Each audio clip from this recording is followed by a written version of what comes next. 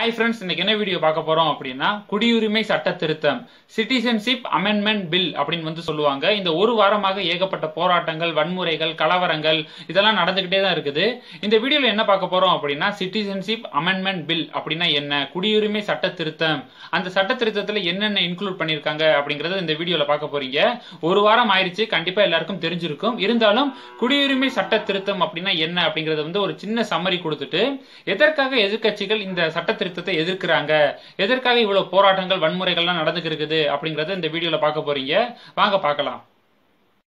குடியுரிமை சட்ட திருத்தம் வந்து என்ன சொல்லுது அப்படின்னா இப்ப வந்து இந்தியாவுடைய பக்கத்து நாடான பாகிஸ்தான் ஆப்கானிஸ்தான் பங்களாதேஷ்.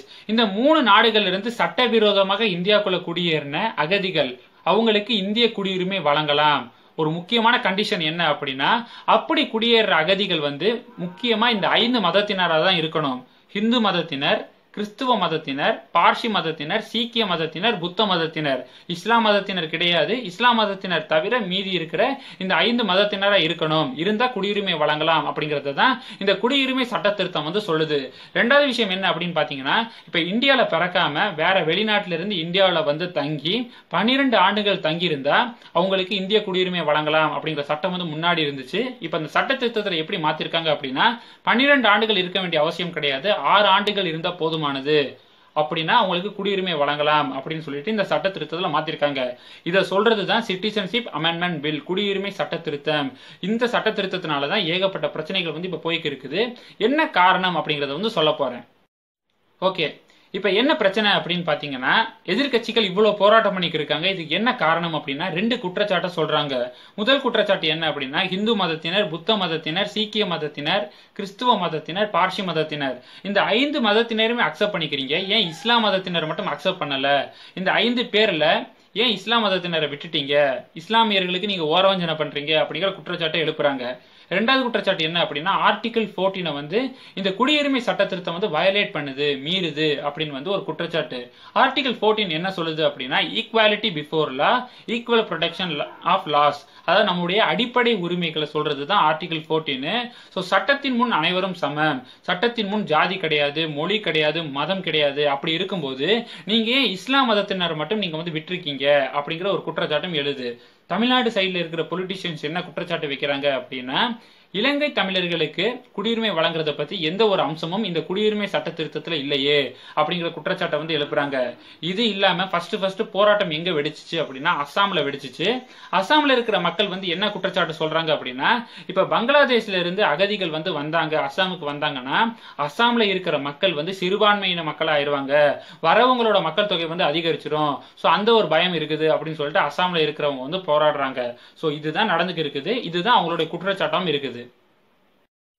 குடியுரிமை சட்ட திருத்தம் சரியா தவறா அப்படிங்கறத பார்க்கலாம். ஒரு கிளாஸ் ரூம்ல ஐம்பது பேர் இருக்காங்க. அதுல நாற்பத்தஞ்சு பேர் வந்து ஒரு குரூப் ஃபார்ம் பண்ணிட்டு ஒன்னா இருக்காங்க. மீதி இருக்கிற ஐந்து பேர் அவங்களுக்குள்ள ஒரு குரூப் ஃபார்ம் பண்ணிட்டு அவங்க ஒரு தனியா இருக்காங்க. இப்ப நாற்பத்தஞ்சு பேர் வந்து அஞ்சு பேரை டாமினேட் பண்ணி அடக்கி ஒடுக்குவாங்க. இதுதான் கண்டிப்பா நடக்கும். நாளடைவுல என்ன ஆகும் அப்படின்னா அந்த ஐந்து பேர் வந்து எங்களால இருக்க முடியல. அவங்க ரொம்ப டாமினேட் பண்றாங்க. ரொம்ப ஸ்ட்ரெஸ் கொடுக்குறாங்க. எங்களை வேற கிளாஸுக்கு மாத்தி விட்டுருங்க அப்படின்னு வந்து சொல்லுவாங்க. இதுதான் எங்க நடக்குது அப்படின்னு பாத்தீங்கன்னா அந்த மூன்று நாடுகள் ஆப்கானிஸ்தான் பாகிஸ்தான் பங்களாதேஷ் அந்த நாடுகளில் நடக்குது.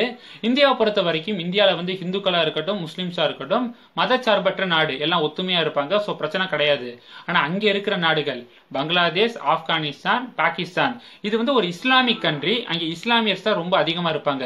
அவங்க என்ன பண்ணுறாங்க அப்படின்னா அங்கே இருக்கிற இந்துக்கள் சீக்கியர்கள் பார்சியர்கள் அதுக்கப்புறம் மீதி பேர் புத்த மதத்தினர் இவங்களாம் என்ன பண்றாங்கன்னா டாமினேட் பண்றாங்க. ஸோ அதனால அவங்க என்ன பண்றாங்கன்னா அங்கே இருந்து அகதிகளா மாறி இந்தியாவுக்குள்ள வராங்க அப்படிங்கிறது தான் இப்போ நடக்குது.